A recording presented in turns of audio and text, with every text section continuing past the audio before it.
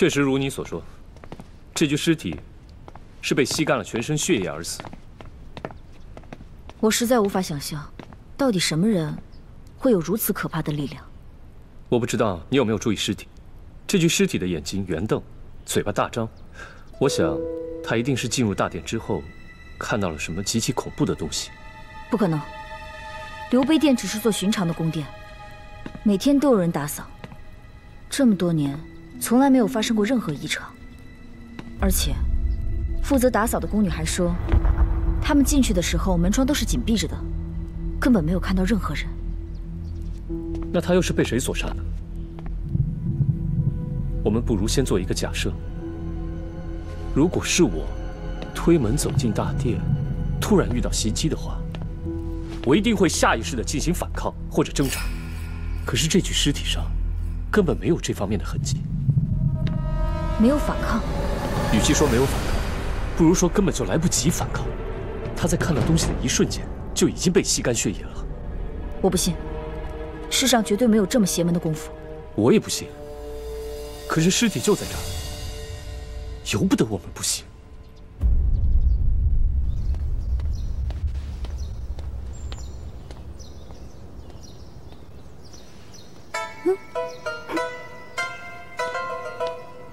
王妃有何吩咐？我要问你一件事情。刘备殿的主人到底是谁？嗯，这这个我不知道啊，你还是问别人吧。你真不知道？我真不知道，殿下还有很多事情要吩咐，我很忙，你就饶了我吧。王妃，你为难我，我也不知道啊。啊，你要是不告诉我的话，我输了比试，可就要离开这儿了。王妃，我可以告诉你，不过此事过去已久，你还是不要再追问了。好，我保证不追问。你看，我要调查刘备殿，我必须要知道主人是谁啊，不然从何查起？那也不能，殿下。哎，你不要这样啊，这招我玩过很多次的。你有什么话可以问我？殿下，卑职。我明白，你下去吧。是。哎，哎，你怎么来了？你不是想知道吗？我告诉你，刘碑殿的主人是岳夫人，八皇子的生母。只不过她不幸早逝了。我我我只是想了解真相。我已经告诉你全部的真相。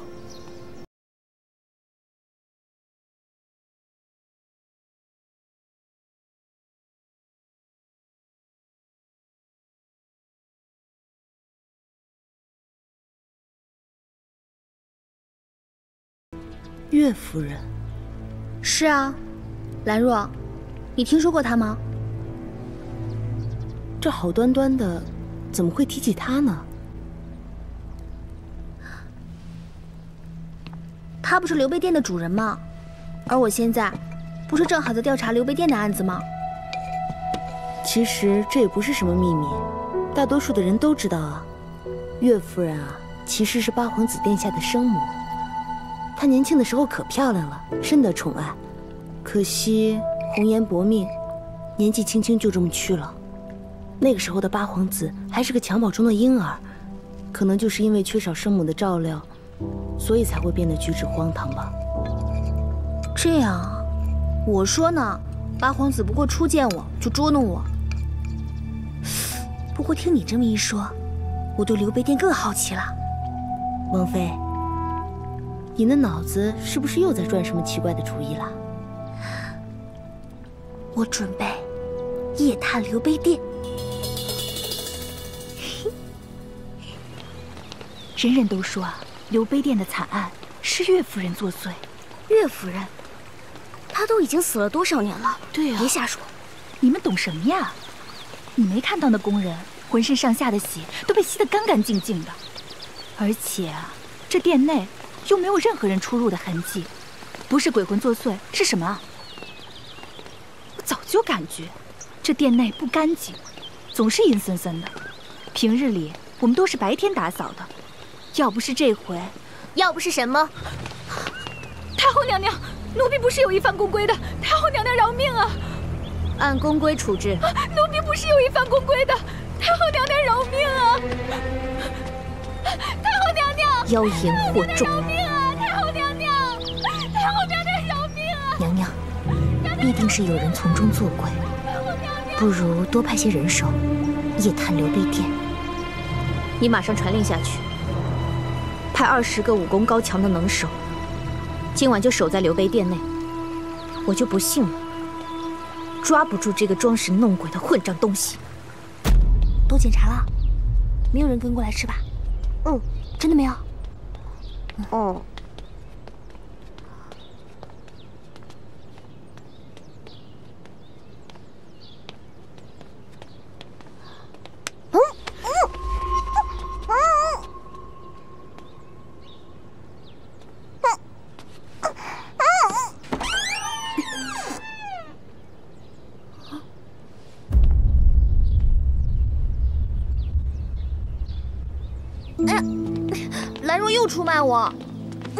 这不关兰若的事。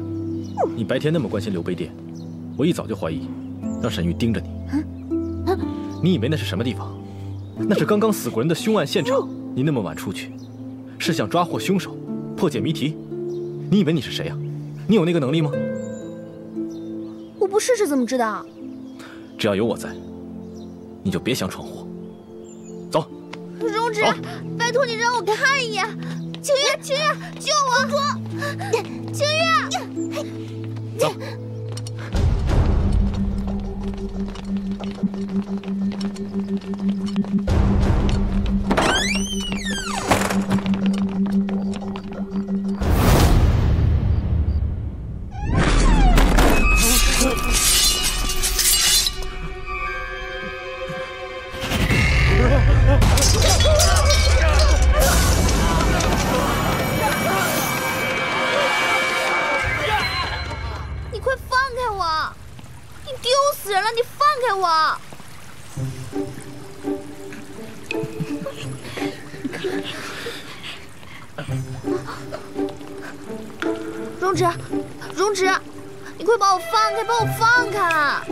答应我以后不再以身犯险，我就放了你。哎，你讲道理好不好？如果我要不夜探刘备殿的话，我怎么知道发生了什么？我不关心。我跟你说，你要是再胡闹，我就把你倒吊起来。为什么倒吊？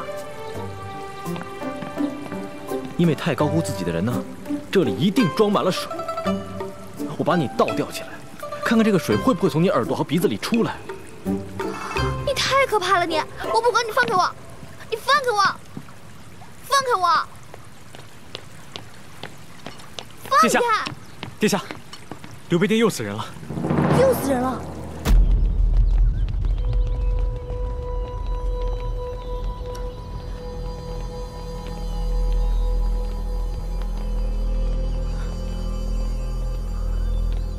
这些是什么人？又是怎么回事？是宫里的侍卫，想来刘备殿查看，结果却惨遭不测。听见了吧？下次还要夜探刘备殿吗？可我未必会和他们一样。不知死活！你要夜探刘备殿？对，因为我有一种直觉，我觉得凶手就在暗处伺机而动。你最好不要做傻事。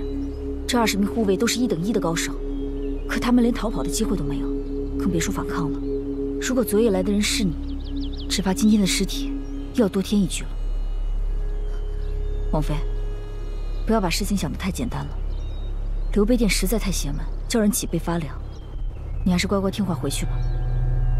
飞凤将军，我虽然不像你战果累累、声名显赫，但是我从来不缺乏勇气。有这二十条性命作为代价，我不会鲁莽行事的。十日之内，我一定会找到背后玄机，把幕后凶手揪出来。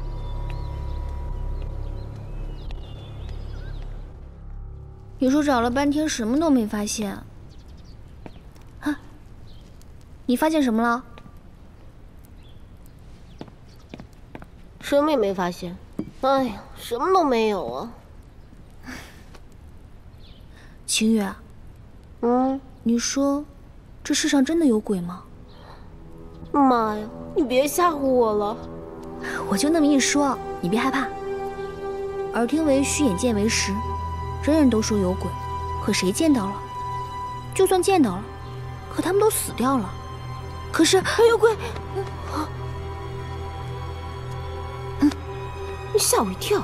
你说这刘碑殿十多年都没出事儿，为什么偏偏这个时候？不知道。谁啊？啊！你别走，你站住，等一下。我问你，你是不是岳夫人以前的宫女？我知道你不会说话，但写字会不会？这样，你写字来回答我。写字总会了吧？啊？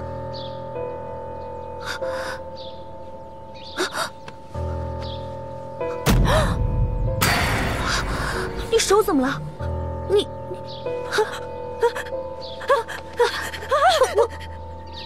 你别害怕，我不会伤害你。我就是想问问，我就是想问，我。参见摄政王妃，秦姑，你怎么来了？太后娘娘有请。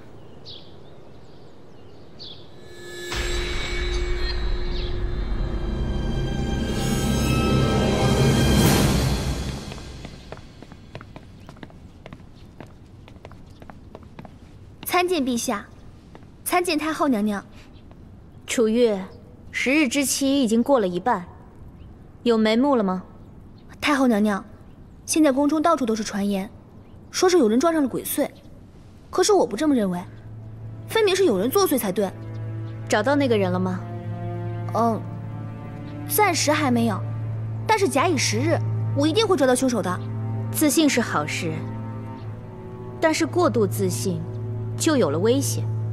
世人往往以讹传讹，我担心如果找不到凶手，谣言会一发不可收拾。那霍玄呢？他有什么办法？回禀太后娘娘，这飞凤将军和摄政王妃一样，都没有任何进展。那既然没有什么办法，你们为何不放弃这个可怕的比试呢？不然，重新找一个题目，重新比试。放弃？怎么能放弃呢？放弃就成悬案了。那以后，万一再有人遇害怎么办？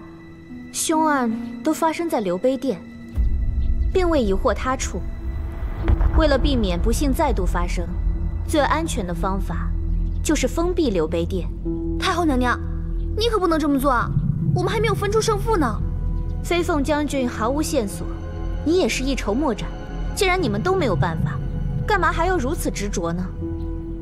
那你们一天查不出真凶，就任由危险存在于宫中吗？封闭刘碑殿，不要让任何人进入，这个就是最安全的方法。那无辜死去的人呢？谁为他们讨回公道？王妃一味的争强好胜，不肯服输，这个会造成更大的牺牲。刘碑殿是岳夫人的旧殿，是八皇子唯一可以睹物思人的地方，如果就此封闭。他一定会很伤心的。你说什么？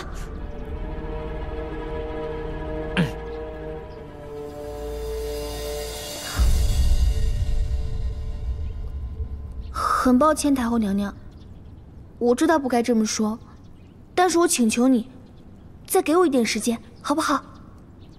母后，陛下，哀家所做的一切，全都是为了摄政王妃，她却一点都不能体谅哀家的心意。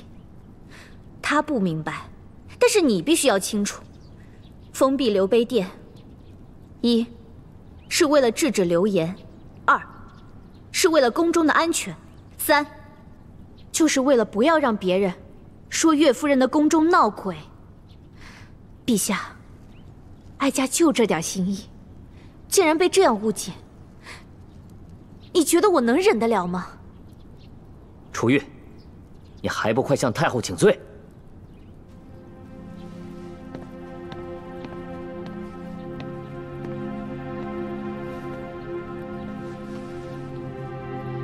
太后娘娘，您说要封闭刘备殿，都是为了我们的安全考虑。可是楚玉却出言不逊，伤了你的心，是楚玉太莽撞了。对不起，是我不对。你既然什么都明白，为什么还要拿自己的性命去冒险？如果你有什么闪失，摄政王怎么办？可是就这么说定了，让皇上再给你们出一个题目，然后马上派人封闭刘碑殿。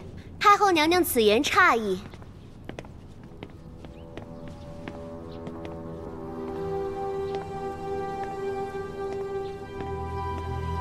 婢妾见过陛下，太后娘娘。红袖，你刚才说的话，分明是不赞同封闭刘碑殿了。陛下，如今传言不只是在宫中，就连平城都已经传得沸沸扬扬了。如果现在封闭刘碑殿，岂非就是坐实了传言，让大家都认定了殿内真的有鬼？封贵人，不可胡言乱语。我建议封闭刘碑殿。是因为我想保证宫中人的安全，并不是什么听信了鬼怪之说。冯贵人，既然你已经进了宫，就不要把宫外的那些污糟之事带到宫里面来。什么鬼怪，什么作祟，我认为只要心中没有鬼，到哪都是一片净土啊。太后娘娘说的是，是婢妾失言了。不过，这封闭刘碑殿。只是治标不治本的法子。皇宫是天子之地，却容着一处凶殿的存在，未免是贻笑大方。更何况这刘碑殿毕竟是岳夫人的旧居，宫里传着这是凶殿的传言，那不就明明白白的说岳夫人已变成厉鬼了吗？太后娘娘的建议实在是欲盖弥彰，适得其反呀。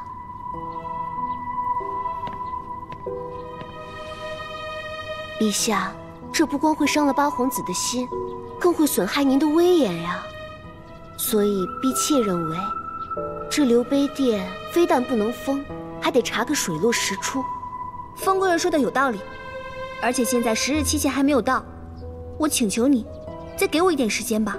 如果十日之后，你们还是束手无策呢？到了那个时候，太后娘娘要想封闭刘卑殿，楚玉也无话可说。好。既然你都这样说了，那朕就等到十日。如果到时候还没有发现，朕就亲自下旨封闭刘备殿。封贵人，你好大的胆子，竟敢顶撞太后！太后娘娘，婢妾不知道说错了什么话，会让您如此动怒啊！你明明知道刘备殿疑惑甚广，却一直故意阻挠，你到底想干什么？太后娘娘，您误会了。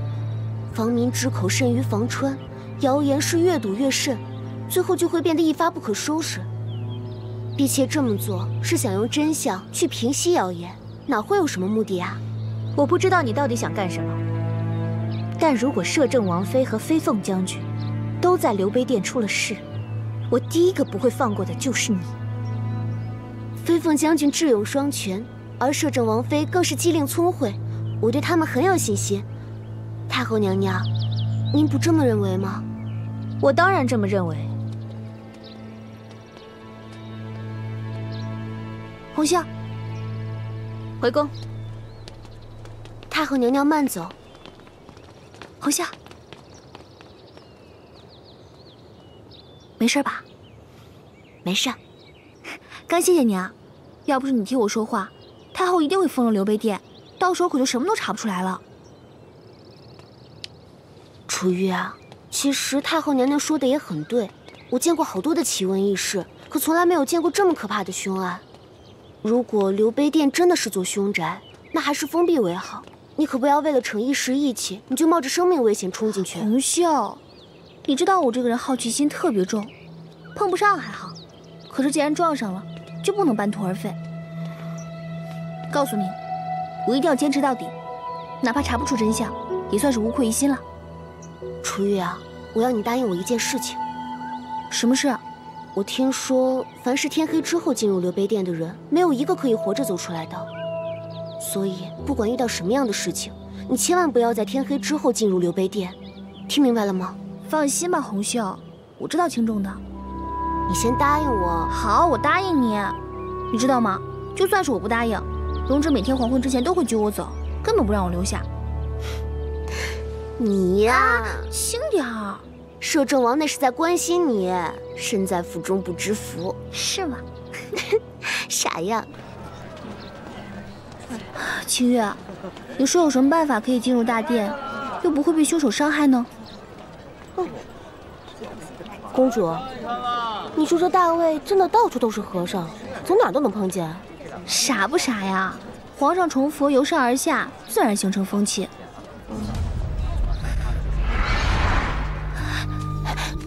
明白了吗？明白了。沈玉，快快快，摄政王在哪儿啊？皇上派了新差事，他这两天不在府里，有什么跟我说就好了。那怎么办呀？来不及了。怎么了？哎呀，不管了，走，你跟我走一趟。哎，去哪儿啊？快走，快点。清月，王妃，你这是在干什么？沈玉，你来啦！我不是听说刘备殿闹鬼吗？然后我又听说，这个佛像啊，它可以镇鬼，所以呢，我就找了城内最好的工匠，连夜赶制了一尊佛像。王妃，这不叫赶制，叫请佛。哦，对对对，是请佛，不是公主，她其实就是想把这个有了这尊佛像之后呢，这样刘备殿的鬼神啊就不会再作祟了。嗯，王妃向来不信鬼神，怎么会突然信这个？你想啊。这人病入膏肓了，肯定会吃各种各样的药。万一奇迹出现了呢？我虽然不信，但是皇上信啊。要是真歪打正着，鬼神不见了，那这一局我不就赢了吗？哦，原来王妃是求胜心切，嗯，病急乱投医呀。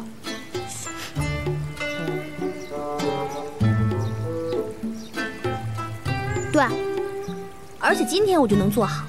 太阳落山之前，我就要送去刘碑殿了。你不要再碍事儿了。走，沈玉，快走快走，快走。嗯。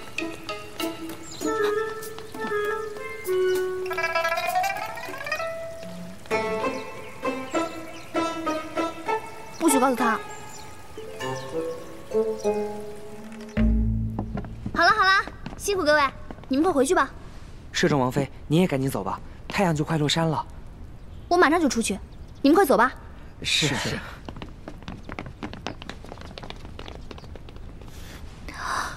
哇，这个太棒了，清月，只要躲在里面，肯定不会被发现的，还可以神不知鬼不觉，看清楚一切。你不许出卖我，啊，否则我真不理你。嗯。不不行，你还是出来吧。你干什么？清月，我没跟你闹着玩，我也没跟你闹着玩呀，这太危险了，你不能进去。天快黑了，我要抓鬼，你快走！抓什么鬼？太危险，公主！哎呀，太危险，快点出去！哎哎哎，公主，哎，开门啊！开开啊，公主，太危险了，公主！一定没问题的，等天黑了，我就亲眼看看，到底是什么东西。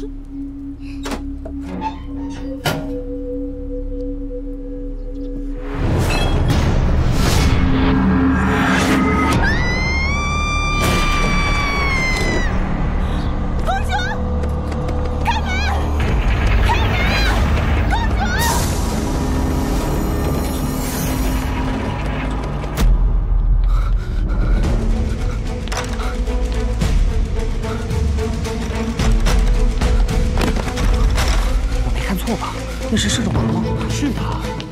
摄政王大人何等沉稳，怎么在宫里乱跑？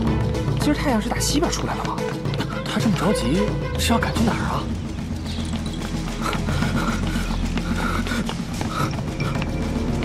殿下，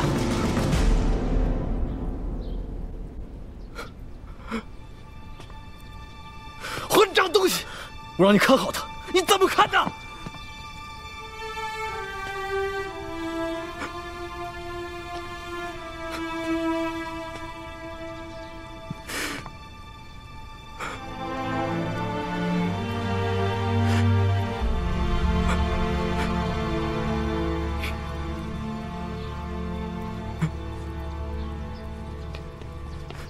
纸，你怎么了？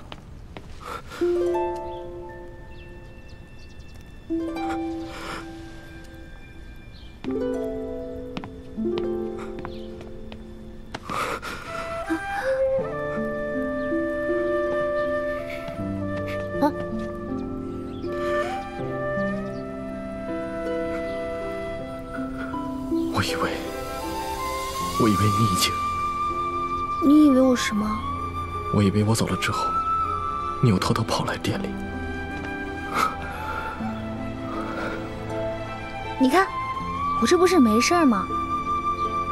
你看，我真的没事儿。我不是怕你生气，所以我才没有告诉你。你别生我气啊！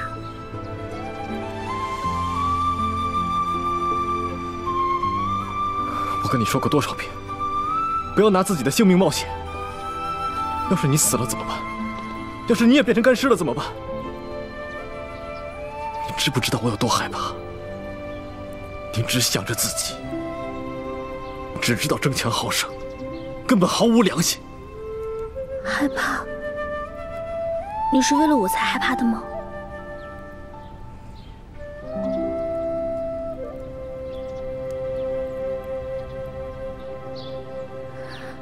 我，是你不让我进刘备殿的，所以我才用佛像镇鬼来当理由，就偷偷藏进去了。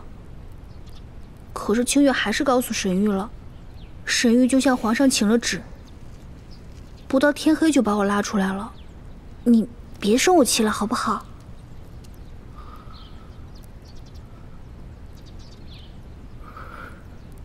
那里面的人是谁？殿下，这是我特意找来的一名死囚，他自愿参加这个试探来换取自由，生死无悔。我已经尽了全力了，可还是失败了。我来看看。霍玄，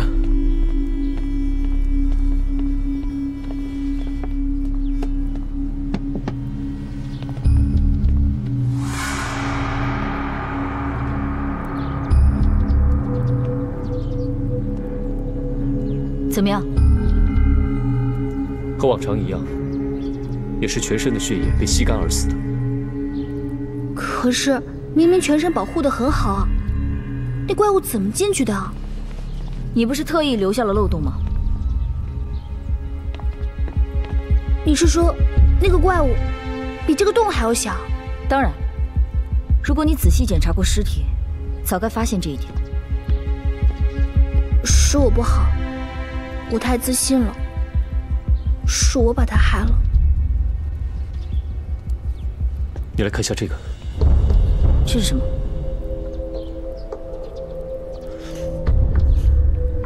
好像是花粉，但好像又不是。这太危险了，要不然还是取消比试吧。不，既然比试已经开始了，除非我或者摄政王妃中途死去，否则绝不会停下。如果要放弃，好啊，你劝他立刻认输，这场比试才能结束。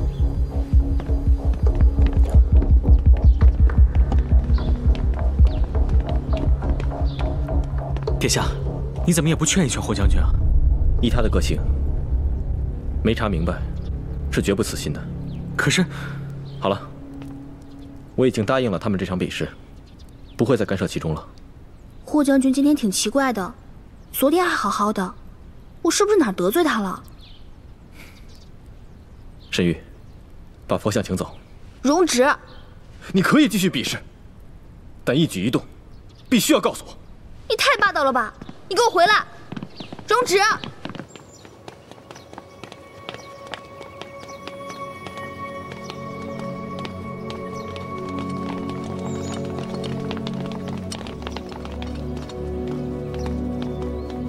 你跟着我干什么？走开！不是啊，我找不到出去的路了。真的，这个皇宫那么大，而且我是第一次来。你刚刚把我丢下的时候，我整个人都慌了。你可以让工人带你出去。哎，霍璇，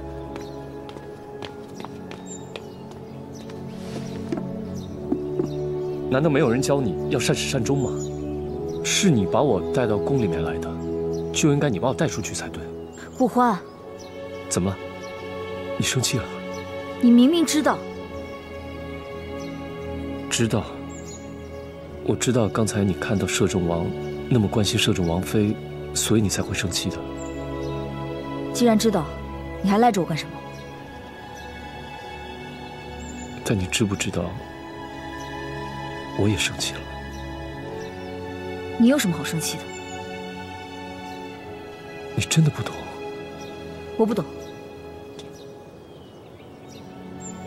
好，那我告诉你。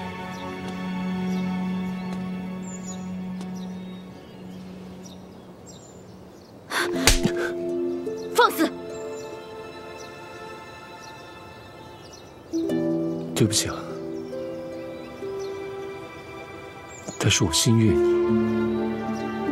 不可能。为什么不可能呢？你明知道我对容止，那又怎么样呢？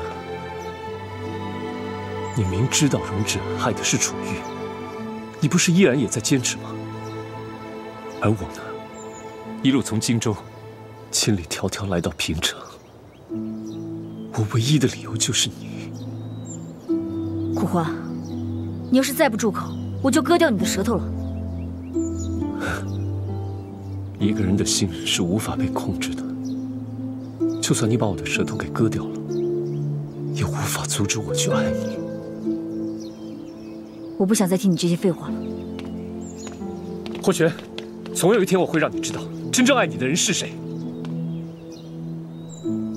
到那天为止，我会一直等你。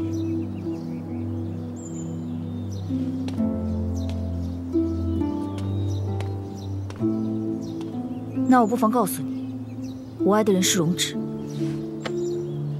你永远等不到那一天。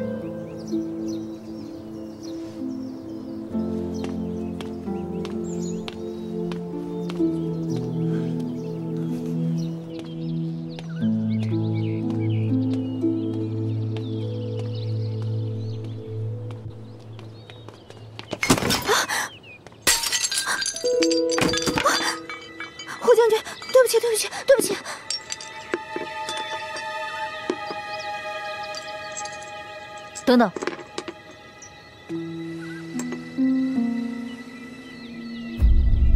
月华殿的琉璃盏坏了，这是特意送去替换的。霍将军，这琉璃灯有什么问题吗？对，有问题，有很大的问题。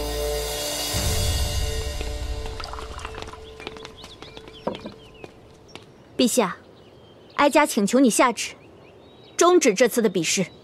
太后娘娘，我也是刚刚才听说的。那夜若非是沈玉来请旨，那死在佛像里的人就是摄政王妃。这么危险的比试，怎么能继续下去呢？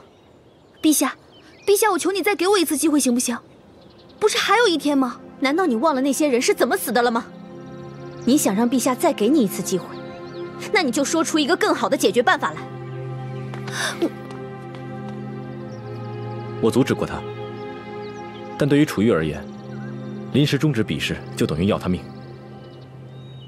摄政王妃，太后说的对，不要拿性命去冒险。这件事情就此作罢，朕重新拟定一个考题，你们再重新比过。可是陛下，飞凤将军到。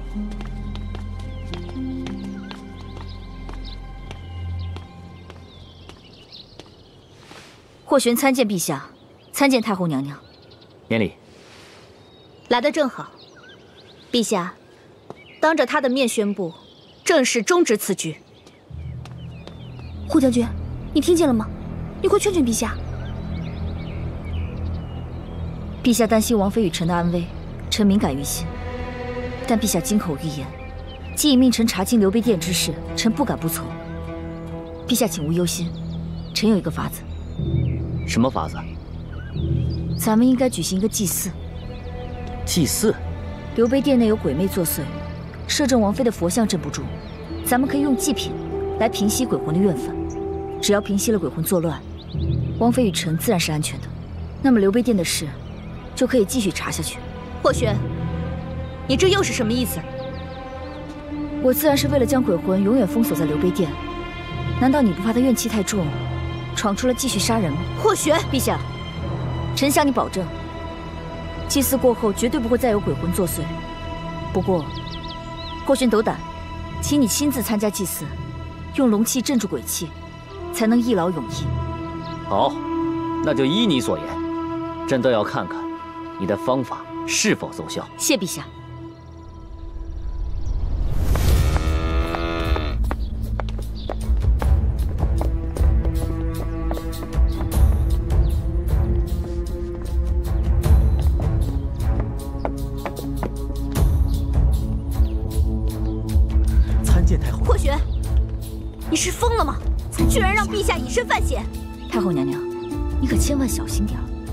惊动了鬼。你鬼在哪儿呢？我也想看看。参见陛下。红袖，你也来了。嗯，有陛下在这儿，红袖自然无所畏惧啊。就是有你们这种唯恐天下不乱的人，才搞得整个宫里乌烟瘴气的。太后娘娘，霍将军也是一番好意，想帮刘卑殿驱邪，你怎么能怪他呢？天快黑了。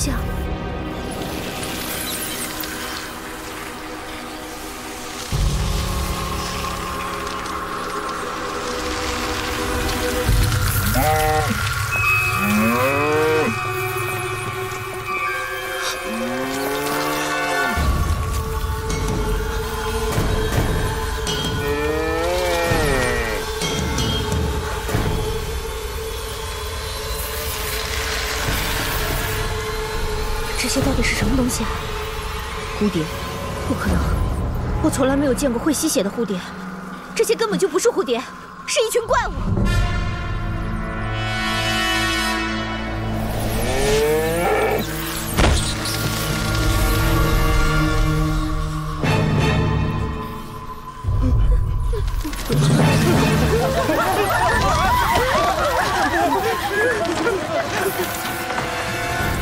不能让他们出来，赶快封上！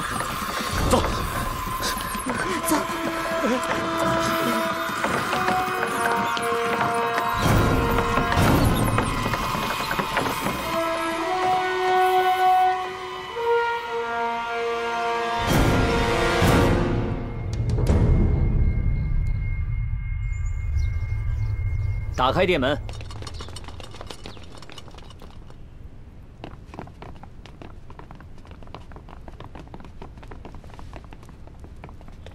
去倒杯茶来。是。这就是你要给我们看的东西。是。这还要感谢摄政王妃，她命人打造了一尊佛像，唯一的破绽就是留用于观察外部环境的孔。后来我们在孔的周围发现了些许奇怪的绿色粉末，我就开始怀疑，攻击人的可能是一种昆虫。但那个时候，我还不知道它们到底藏在哪儿。所以。你为了方便观察他们，就命人特意改动了窗格。是。可恶！我之前明明看过他们，竟然只是以为雕刻的很逼真罢了。蝶恋花是常态，就算有普通人注意到了，也不会想到是活物。不错，这种蝴蝶的体型比普通蝴蝶要小。吸完血消化完之后，又会恢复成飞蛾大小，重新回到壁上。这什么？是蝴蝶！蝴蝶！人生若如初相见，相见不如多怀念。江南烟雨昙花一现，都在细雨绵绵。人生若能长相见，如何才能看不厌？